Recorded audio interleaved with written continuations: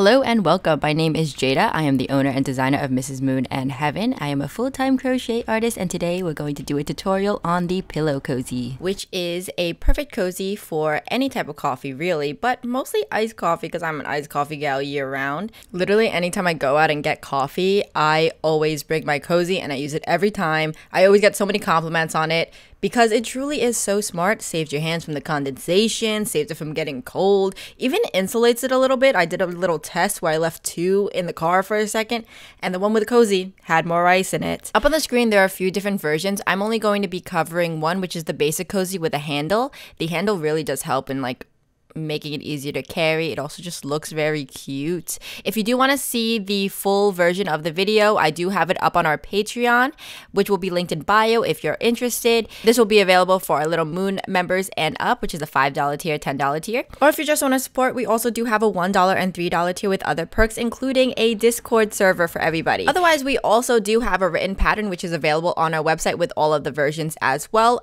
including this one if you just want to read it and follow along. So without further ado, let's get started. I'm using Hobbii Bungee Mini, which is the perfect yarn for this. It's a tube yarn, it's a polyester cotton blend, so it's a tube yarn filled with cotton, which helps absorb all that condensation that comes off of iced coffee cups. Also is nice and thick. There are some dupes for this, but you might have to double up or do something a little bit different. This is just super thick and nice. You're also going to need a 12 millimeter hook. The yarn calls for a 10 or 12. I'm using a 12. You maybe could change this up but I do recommend using a 12. You're going to need a darning needle thick enough to hold this yarn, a nice jumbo one, and also some scissors. Everything will be linked below for your convenience that I am using. And let's get started. So I'm going to show you the one with the handle, but you can also make this without the handle like these over here. It's a minor adjustment. You just have to do a seamless finish at the end. Personally, I prefer the handle makes it different, makes it cuter, and makes it easier for you to hold, in my opinion. There's also going to be some size differences. Both of them will actually fit most coffee cups, but I would suggest that you make the size that is congruent to the size that you get more often. For example, I am a 32 ounce big fat coffee girly, so I'm gonna make the bigger of the two. It will still fit actually a 16 ounce like perfectly, but if you're only getting like a 16 ounce, then make the smaller of the two because it will just be a little more comfortable. But if you're getting a big coffee a lot, a 24 or 30, two most often, then I recommend doing the bigger of the two sizes. But truly, they are so quick to make that you can also just make both. So anyway, let's start off with a slip knot, a simple slip knot, and just put that on your hook nice and tight. We're gonna start off with a chain 13. Additionally, you may also get a coffee cup that you use often, go out, get yourself a coffee, and then use this to measure your cup. That'll help if you, let's say, don't get this yarn or you have a different tension than I do. If you are doing that, then make a chain long enough that it will fit around your coffee cup with a bit of stretch. Once you get that chain, you are going to go into the very first chain that you made like so, and you are going to slip stitch, thus making it a circle. And be sure not to twist your chain. It's a little easier because this is a smaller chain, so you could see that it's not twisted.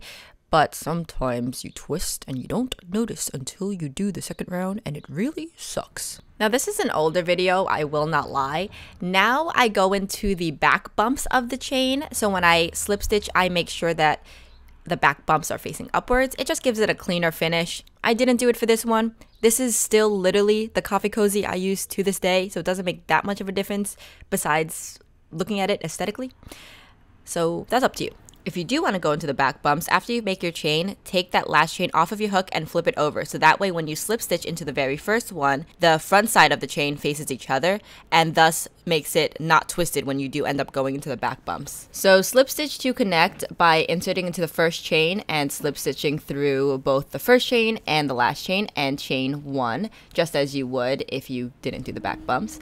And you're going to go into this first back bump and it's going to feel a little bit hidden if so, just pull up the back bump and insert your hook into that section. And the rest of my bumps are also a little bit tight, as you can see. So what I do for this is I just literally pinch open that back bump so that it's easier to insert my hook. And you're just going to have to crochet around just as you would if you were just going into the chain, but you're going into the back bumps instead. Like I said, this just makes a more aesthetically pleasing finish if you look at the foundation row the chain on the bottom appears more so that it looks kind of prettier. It's absolutely not necessary. It's just an aesthetic choice. Anyway, chain one, and you're gonna go into the very first stitch, like so, with a half double crochet. It's gonna be a little bit tight. And you are just gonna continue to go around each chain and place one half double crochet. As you can see, I'm, I'm struggling a little bit. I made that chain a little bit too tight, but that's all right. That's actually quite good for the purpose of the cozy because it stays nice and snug at the bottom if you feel me. Something else I would change now watching this back is I would half double crochet over that tail end just so it's one less way to weave in later on. But it's not that big of a deal. Continue to half double crochet around the entirety of your chain 13 from the beginning, or however many you chained. At the very end, you should have the same number of stitches that you started off the chain with because that slip stitch actually made like another fake stitch or chain, if that makes sense. So I have 13 stitches right here. And so I'm going to slip stitch at the very top of the first half double crochet. I'll tell you a little secret though. Sometimes I do add an extra stitch into that fake slip stitch at the very end because what it does it creates a tighter bottom for your coffee cup so it like doesn't slip around and it actually stays like nice and snug. You can see that i'm like second guessing myself and counting over here. But i do that for my more recent ones. That's up to you if you want to do that. Again this is the same cozy. I still use a year later many coffee uses and it's perfect. But you know preference if you want. So after you do that slip stitch, you're going to chain one and turn, and this is going to create a straight seam for you. And then you're going to half double crochet in the first stitch and every stitch around, so you should have 13 stitches once again. Now, the thing with working it around and chain one and turning in between each round is that usually if you didn't turn, you would skip the slip stitch at the very end of the round in order to not accidentally increase. But because we are turning after each round, we are going to actually crochet into that very first slip stitch. And so to make up for that, in the end, we're going to skip over that very, very, very last stitch, and therefore you won't increase. This is easier with something like this because there's only 13 stitches, so you can count and make sure that you're not accidentally increasing, but that's just a great rule of thumb for if you want to have a straight seam, turn in between each round, and also not accidentally increase and botch your project, you know? So skip over that last stitch and slip stitch into the very first half double crochet from the beginning of the round, chain one, and turn once again and repeat that round. So back into the first stitch and you're gonna half double crochet around once again. And you're gonna skip that last stitch and slip stitch into the top of the very first half double crochet from the round. So you should have 13 stitches in each row so far or the same amount of stitches that you started off with. So getting to the end of this round. You'll see me do the half double crochet at the end and here's the top of the half double crochet from the beginning of the round and I'm to slip stitch right there. If you were doing the smaller of the two versions, this is where you are going to finish your half double crochet rounds. If you're to do the bigger of the two versions, you are going to do one more round of half double crochet. So just repeat that, chain one, turn, and do your half double crochets in each stitch. But right here, I'm doing the small version. So that's to be the end of the half double crochet round. So it's a total of three half double crochet rounds. I'm going to chain one and turn. And instead of doing a half double crochet, you're going to do one single crochet in each stitch in this round. So making sure to go into that first stitch, single crochet 13, skipping that very last stitch, and slip stitching to the top of the first single crochet from the round. This is going to create a nice border at the end of your cozy. If you are not doing the handle, you are not going to slip stitch into the top of the first single crochet from the round. I'm going to show you what to do right now to make a nice seamless finish. If you want to do a handle, I don't blame you. Skip to this timestamp, it's so cute. But if you do not want to do a handle, you're going to stop at the very last single crochet and cut a nice long tail. I did about eh, what is this, like 10 inches? And instead of fastening off, you're just gonna pull it just like this. So you're gonna finish that last single crochet and just pull the end through. You're going to get your darning needle and we are going to do a seamless finish. So when you fasten off at the end of a round, you tend to see that knot, and this is just gonna prevent that. So we're gonna thread our needle and we are going to go into that first single crochet of the round and go underneath that stitch like so. So I'm going outer to inner and I'm gonna pull that all the way through until that stitch is equal to the gauge of the rest of your stitches because we're going to make this blended and look like another stitch. Then we're going to go into the top of the last single crochet from the round and through that bottom bump right there and pull the yarn through. So in between that V, thus making it look like another stitch. So it should look like this. It should look like a seamless finish to your round, which is what this is. And if you need to, pull or loosen it a little bit so it blends in with the other stitches. And I'm gonna take my needle and I'm gonna put the tail end into the inside of the cozy so that way I could tie a knot and finish it later. Before I flip it inside out, however, I'm going to take the tail end from the beginning of the project and I'm also gonna thread that to the inside of the project so that way I can weave it in as well. I looped it into the very last chain from the foundation row because I didn't like how it made like a weird gap and plus this hid the knot a little more. So this is what it looks like right now and we're just going to flip it inside out because now we're going to weave in the ends to make it nice and secure. So we're going to start off with that last tail, the one that we used to make the seamless finish. And you can tie a knot here if you want to make sure it's extra secure. Sometimes I do like doing that just to make sure that that last seamless finish doesn't get too big and look a lot different than the other stitches, but it's not necessary. You really don't have to. So you just want to weave in your tail end three different directions. The reasoning behind this is because your project is not going to stretch three different ways. Thus, your tail end is going to stay in there, which keeps it secure. You just want to make sure that you go in just a few stitches. It doesn't have to be too crazy. Because this is a tube yarn, sometimes the needle does pierce through the tube and you could tell because you won't be able to pull the tail through. And if you're having a problem with this, just take it a few stitches at a time. Sometimes I even do one at a time if it keeps getting caught. And you're just gonna go back and forth constantly until you get at least three. I think I did like four on this one just to make sure it was really tight because I knew that I would be using this a lot.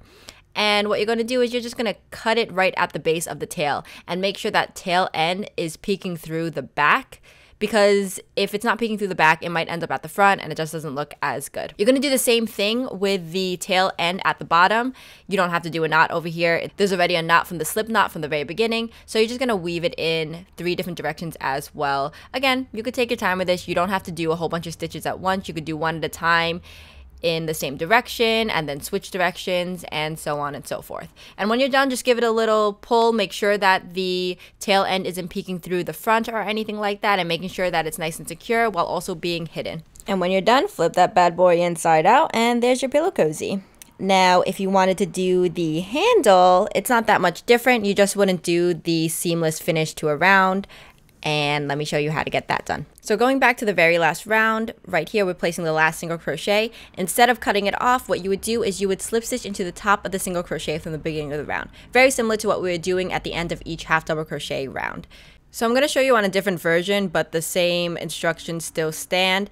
You are going to chain nine at the end of this, and this is going to become your handle. If you're doing a custom one because you're using a different yarn or have a different gauge, it's going to be as long as your cozy basically, unless you're doing the small version. In that case, I would make it just a little bit longer to fit your hand. Basically, the handle just needs to be long enough to comfortably house your little hand when you're holding it like a mug. Then in the second chain from the hook, you are going to single crochet down until you get to the base of the chain. I'm once again doing the back bumps because I think that you can really see the finish on the handle. Again, you don't have to do this if you don't want to. You can just do a regular single crochet down the front of the chain. I like it. I think it looks cleaner. So yeah, continue to single crochet until you get to the end of that chain that you just made. When you single crochet down the entire chain, you are going to end up right at the top of the cozy and you're going to slip stitch two. Make sure that your handle isn't twisted as well when you do this. Then you're going to turn your work. You're not going to chain one in between and you're going to single crochet back down.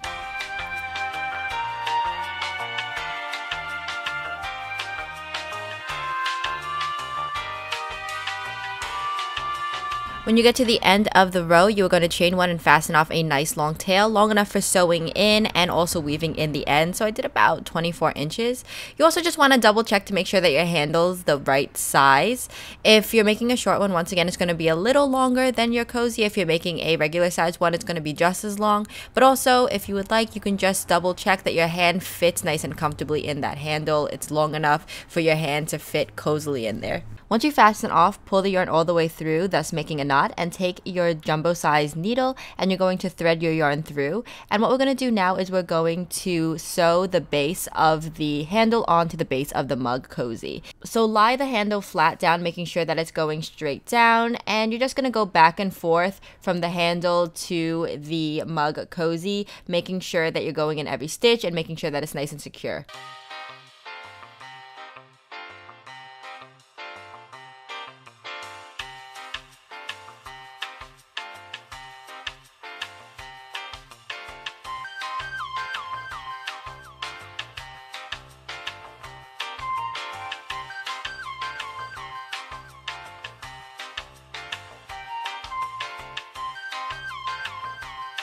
When you think you're done, just give it a little tug and see if there's any places that you think could use a little more sewing in. So right here, I see that it's actually a little loose on the other corner from where I started. So I'm going to add one more stitch. This is just a good way to make sure to check that it is secure enough because remember, you are going to be holding a liquid in here, so you don't want to have it pop off or anything like that. Once you get to your final stitch and your handle is fully secure, you are going to flip your work inside out and what I like to do before I start weaving in my end is I actually like to make a knot right here because it is holding the handle together. So I do that by taking my needle and going into a stitch nearby where the tail is coming out, making a loop and putting the yarn through that loop and tightening it so there's another knot and that just adds another layer of protection before I start weaving in the end. And after you secure this knot, you're just going to weave it back and forth just like we did in the other section without a handle. But in case you skip that section, all you have to do is weave your tail in in three different directions